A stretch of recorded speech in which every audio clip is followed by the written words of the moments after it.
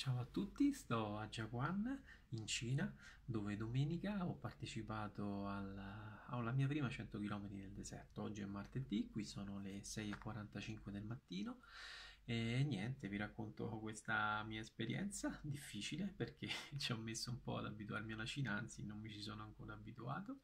Ehm, il cibo è un po' diverso e anche da bere è diverso, basta pensare, basti pensare che servono il succo d'arancia caldo a pranzo. E, e niente, nel- per quanto riguarda la gara ho avuto problemi sui ristori, ingenuamente pensavo che dessero come nei ristori italiani ogni ben di Dio eh, a ogni pochi chilometri e invece bisognava portarsi un po' di cose dietro che non mi sono portato, quindi ho sofferto fame e sete nel deserto, insomma un incubo, nel, nel finale anche tanti tanti crampi, però sono contento di, di aver fatto questa esperienza.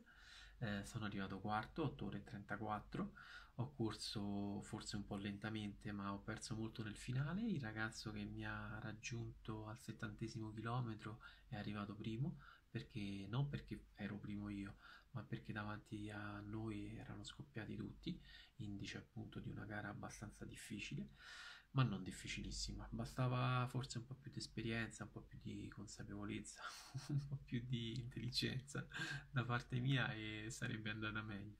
Però va bene, accettiamo quello che viene e buona corsa a tutti.